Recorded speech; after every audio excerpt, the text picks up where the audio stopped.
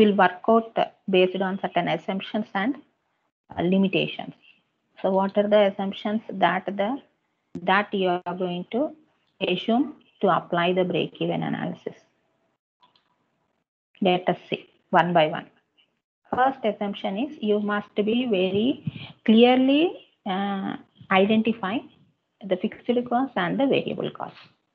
So to apply this analysis, identification of fixed costs and variable costs is uh, important. And this is going to uh, ignore the semi-variable cost. If there is any semi-variable cost, that is not going to be included to apply this analysis. And the costs and revenues are going to be linear. So they are going to be in a straight line flowing from left to right downwards or upwards. Okay. So this, uh, when you apply this uh, analysis, you are going to assume that the price of the product is constant. There should not be any change in the selling price of the product. So you keep constant that selling price. That assumption is taken here. And the volume of sales and volume of production are equal means whatever you are going to produce in your uh, company so all those output finished product is assumed that they are sold, sold in the market. That is what it is and both are equal, volume of sales and the volume of production. And there should not be any change in the fixed costs. So throughout you apply the um, this analysis, you are going to assume that the fixed costs are going to be uh, remained constant till the end of the uh, quantity of output. So suppose if you are producing 50,000 units.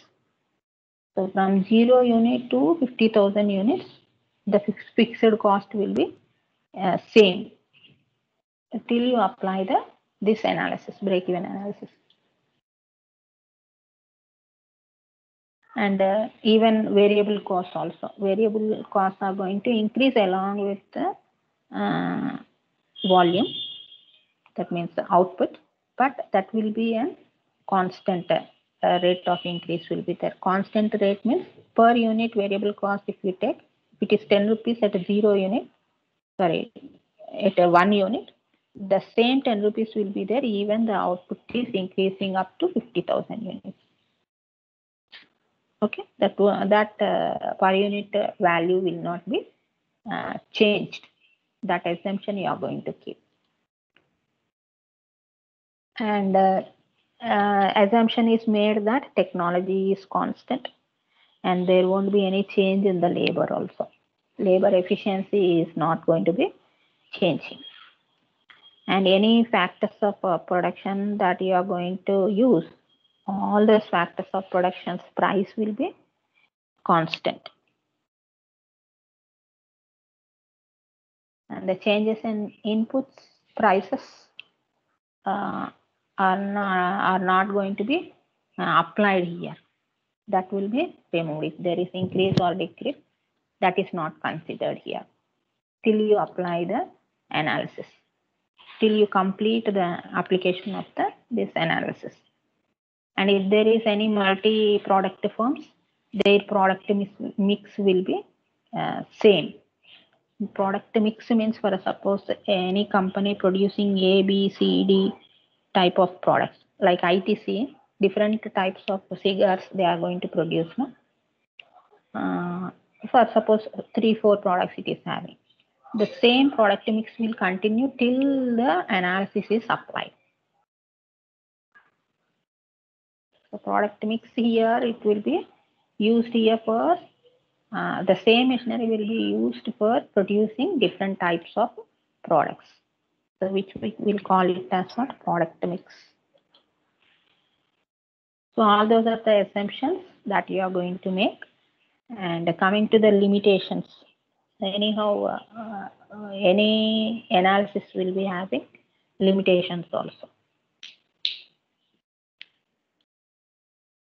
as we said that the break-even analysis uh, is applied, everything is constant, no?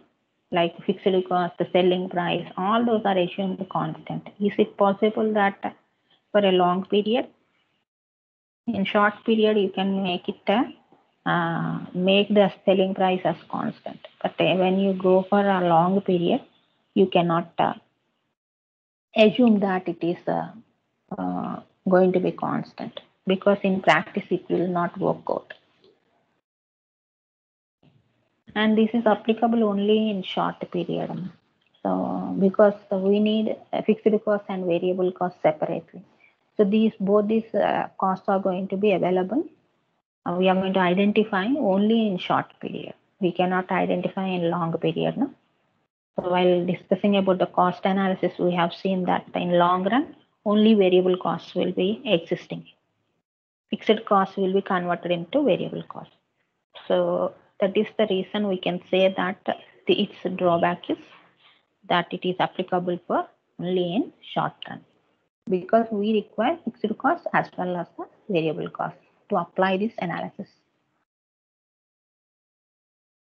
This is not applicable for long period. Uh, when there is change in any of the costs, variable cost is going to change means automatically there will be change in break-even point. If there is a fixed costs are changing, again break-even point will change. So that means there will be an effect on break-even point. Change in the break-even point takes place. If any of these selling price, variable costs or fixed costs are going to be changed, auto automatically the break-even point also changes. That means minimum sales that you need to uh, uh have in the market will be changing. When uh, even when a product mix is going to change, there will be change in the break-even point. You have to identify again what is the break-even point. So in all these situations as a manager, they need to, they require to identify the uh, break-even point again. If any slight changes, change occurs, they require to analyze again what is the break-even point. So that disadvantage will be there. That limitation is there. And when there is more number of products for example, 10, 20 products are there which a company is producing. For each and every product, they need to identify the break-even point separately.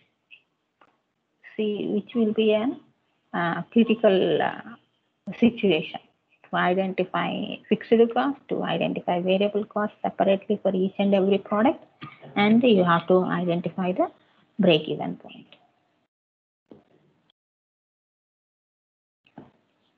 And it is assumed that uh, all the products produced are sold no? Is it possible in reality? Is it true? We can't say. Sometimes uh, all the products which produced may be sold. Sometimes it may not. But uh, we assume that everything which we have produced are uh, being sold in the market by that taking that assumption only we are uh, finding out the break even point and we say that this much of profit will be there to the company if this limit of uh, sales is uh, crossed. So that may not be true sometimes. So all these are the limitations which we can say that a break even uh, to apply the break even analysis a company can come across